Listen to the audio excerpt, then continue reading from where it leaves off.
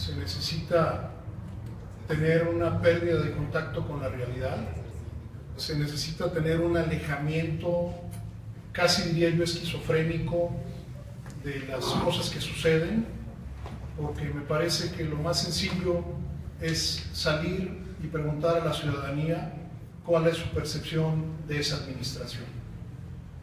Eh, yo no creo que haya habido ninguna persecución política, al contrario, me parece que el alcalde Héctor López Santillán ha sido sumamente prudente, ha aguantado los, las embestidas y las aludes de preguntas que hay respecto al tema y él siempre ha estado diciendo que no ha llegado el momento, que él está esperando los resultados.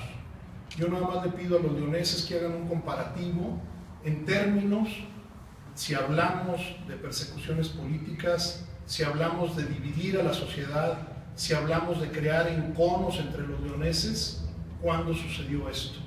Recuerden ustedes el arranque de la administración anterior, donde había una clara diferencia en base a partidos políticos y donde lo menos que se hizo fue ver una visión de sociedad completa y de trabajar con una visión totalmente de sembrar enconos y sembrar divisiones. No hay declaraciones que no son apegadas a la realidad, se pueden encuadrar en una serie de expresiones que no tienen una relación directa con lo que ocurre y ocurrió.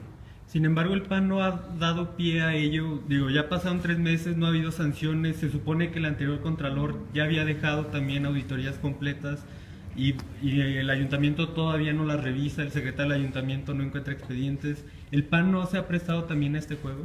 Yo creo que tu respuesta responde la anterior. O sea, creo que con esto demostramos que no hay una persecución política. El PAN está esperando que haya resultados, tú lo acabas de decir el PAN está revisando los expedientes y creo que en todos un término pues de responsabilidad y profesionalismo eso es lo que ocurre. ¿De cuánto sería el tiempo del PAN para fincar responsabilidades en caso de que las hubiera? Me parece que los periodos los marcan los propios procedimientos de Contraloría y de Auditoría y que no los estará marcando el PAN el PAN estará exigiendo en todos los casos, no solo en el municipio de León, que se cumpla con la legalidad.